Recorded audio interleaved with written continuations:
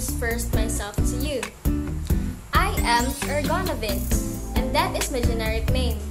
My brand names are Ergotrate and Ergonovine Maleate.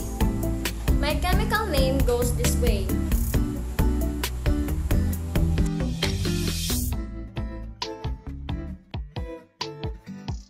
In our world, we have different classifications. In my case, my therapeutic classification is oxytocic. My pharmacologic classification is ergot alkaloid. I am one of the uterine motility drugs. I either stimulate uterine contractions to assist labor or induce abortion.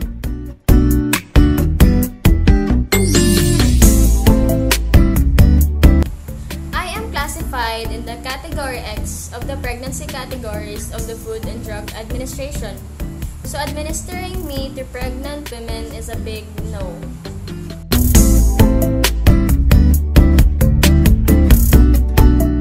Because of my oxytocic function, I directly stimulate the uterine muscle and increase its force and frequency of contraction. Usually, when you administer me in usual doses, there will be periods of contractions to be followed by periods of relaxation. If you administer me in higher doses, the basal uterine tone will be elevated and its period of relaxation will be decreased. There will be hemostasis around the bleeding vessels at the placental site created by the contractions of the uterine wall. The sensitivity of the uterus to my oxytocic effect will be greater towards the end of pregnancy.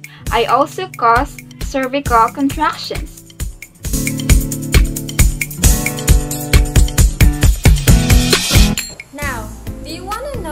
The body reacts to me when I am being administered? Let us now tackle my pharmacokinetics. I can be administered orally or through the intramuscular route. I am completely and rapidly absorbed in the GI tract. For my distribution, it remains unknown or not stated, so let us just move on to how am I being metabolized in the body.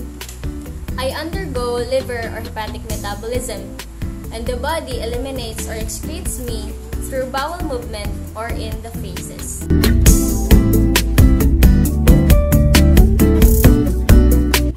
I am used for the treatment of postpartum and post-abortion hemorrhage caused by the failure of the uterus to contract after delivery, which is also known as uterine atony.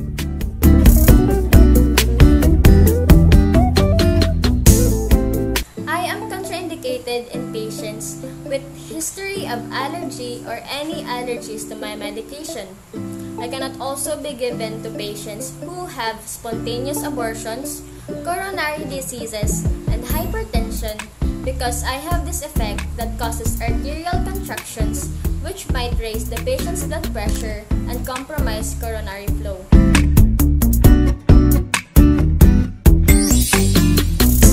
It is important you should know what side adverse effects might I cause to you or to the patient that will receive me. In central nervous system, I may cause headache, nausea, dizziness, and drumming sensation in ears. In cardiovascular system, I can give rise to hypertension, sharp stop in chest, weakening in legs, phlebitis, and sudden drop in blood. In gastrointestinal, I may cause vomiting and diarrhea. In musculoskeletal, you may feel soreness in arms, lower limbs, or lower back. In respiratory, shortness of breath can occur.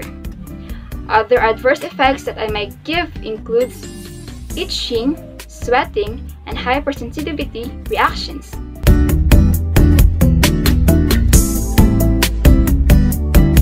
In order to prevent any complications or errors, here are things that you should do or take note of before administering me to the patient.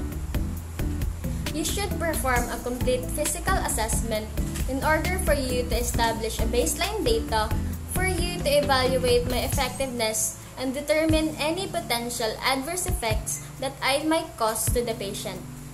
You also have to monitor the patient's vital signs.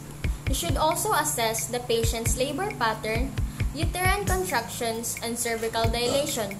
You should also assess the fetal status, including the fetal heart rate, rhythm, and position. Now, for the implementations, you should ensure fetal position and cephalopelvic proportions in order to prevent serious complications of the delivery of the patient. Monitor the patient's blood pressure and monitor the fetal heart rate frequently during and after my administration.